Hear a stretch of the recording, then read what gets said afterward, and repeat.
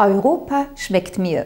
Unter diesem Motto hatte Bürgermeister Friedrich Scharrer zu einem Europafrühstück ins Schloss Vösendorf geladen, wo SPÖ-EU-Kandidatin Karin Kadenbach ihre Fakten und Argumente zur EU-Wahl am 25. Mai vorbrachte. Ich freue mich auch wirklich auf eine Diskussion hier.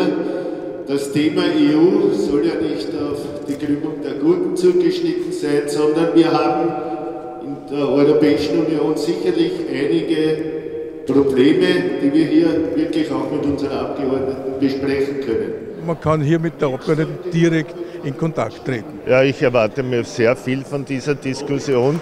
Der Bogen der EU ist da sehr groß. Wir müssen wieder die Menschen in den Mittelpunkt stellen und nicht nur die Finanzmärkte.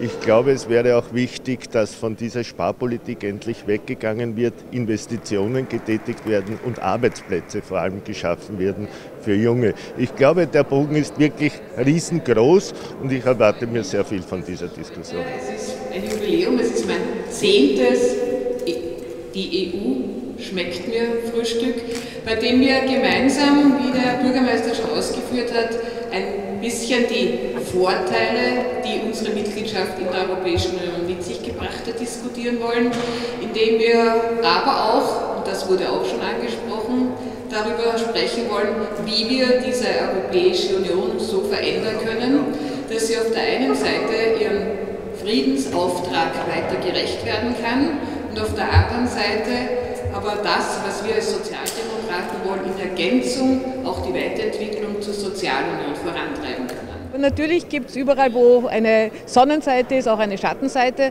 Und auch das wollen wir diskutieren und auch die Frage stellen, müssen wir alles in der europäischen Ebene so hinnehmen oder haben wir als Bürgerinnen und Bürger und natürlich ich als Abgeordnete auch die Chance, das zu verändern? Ein klares Ja.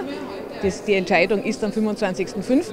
Wir wählen das Europäische Parlament neu und hier können wir auch die Weichen neu stellen zu einem gesünderen, zu einem sozialeren Europa. Der direkte Kontakt mit dem Bürger, mit dem Wähler ist ja das beste Mittel, um die Argumente an den Mann zu bringen. Es geht ja immerhin um sehr viel am 25. Mai. Ja, ich glaube, es ist ganz wesentlich, dass wir hier diesen Austausch suchen. Es gibt eine ganze Reihe von Mythen, von Missverständnissen, wo es hier die Möglichkeit gibt, das aufzuklären, zu zeigen, dass manches in der verkürzten Darstellung ganz anders wirkt als die wirklichen Hintergründe. Wir haben sehr häufig als Hintergrund Konsumentenschutzinteressen, die dann leider als bürokratische Hindernisse dargestellt werden.